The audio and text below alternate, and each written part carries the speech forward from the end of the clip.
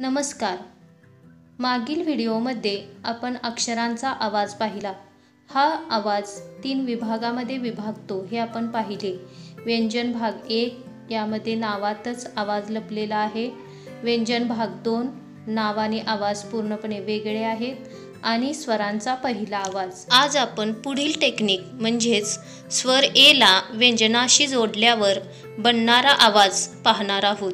त्याचबरोबर स्वर एने बनणारे तीन अक्षरी शब्द कसे वाचावेत हे देखील शिकणार आहोत. आता समोर दिसणाऱ्या स्क्रीनचा अर्थ समजावून घेऊया. बी हे व्यंजन आहे आणि ए हा स्वर आहे. बी या व्यंजनामध्ये ए हा स्वर मिळवल्यानंतर त्याचा आवाज काय होतो हे समजावून घेऊया. बीचा आवाज आहे ब एचा आवाज आहे ॲ. बमध्ये ॲ मिळवल्यानंतर बी एचा आवाज झाला ब्या. अशा पद्धतीने इतरही व्यंजने ए या स्वरामध्ये मिळवल्यानंतर त्याचा आवाज अशाच पद्धतीने होतो. म्हणजेच सी एचा आवाज क्या डी एचा आवाज डॅ एफ एचा आवाज फॅ जी एचा आवाज ग्या.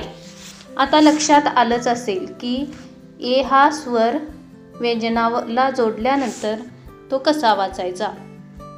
उदाहरण पाहूया. जी ए पी हा शब्द कसा वाचायचा? तर वरील पद्धतीनुसार जी एचा आवाज झाला ग्या पीचा आवाज आहे प म्हणून जी ए पीचा उच्चार होईल ग्या. आता आणखी काही उदाहरणे पाहूया. एच ए टी एच एचा आवाज आहे हॅ. टीचा आवाज आहे ट. म्हणून एच ए टीचा उच्चार झाला हॅट. हॅट म्हणजे गोल टोपी. पुढील उदाहरण पाहूया. टी ए पी टी एचा आवाज आहे ट्या. पीचा आवाज आहे प. म्हणून T A P tap. Tap म्हणजे नळ.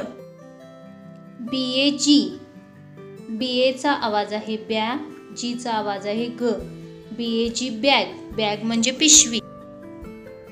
बी ए टी बी एचा आवाज आहे ब्या टीचा आवाज आहे ट बॅट बॅट म्हणजे वटवागुळ. सी ए पी सी एचा आवाज आहे कॅ पीचा आवाज आहे प C A P cap cap म्हणजे टोपी. डी ए यम डी एचा आवाज आहे डॅ यमचा आवाज आहे म D A M dam. Dam म्हणजे धरण. एफ ए यन एफ एचा आवाज आहे फॅ यनचा आवाज आहे न F A N fan. Fan म्हणजे पंखा. एफ ए टी एफ एचा आवाज आहे फॅ टीचा आवाज आहे ट. F A T fat fat म्हणजे जाड. J M jam. जाम म्हणजे मुरांबा. M A N man man म्हणजे माणूस. M A P map map म्हणजे नकाशा. M A T mat mat म्हणजे चटई. N A P, nap nap म्हणजे डुलकी. R A T, rat rat म्हणजे उंदीर. P A N, pan pan म्हणजे तवा.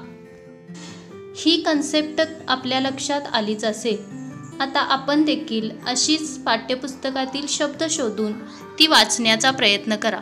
आणि पुढील टेक्निक सर्वात आधी आपल्यापर्यंत पोचण्यासाठी माझे चॅनेल सबस्क्राईब नक्की करा.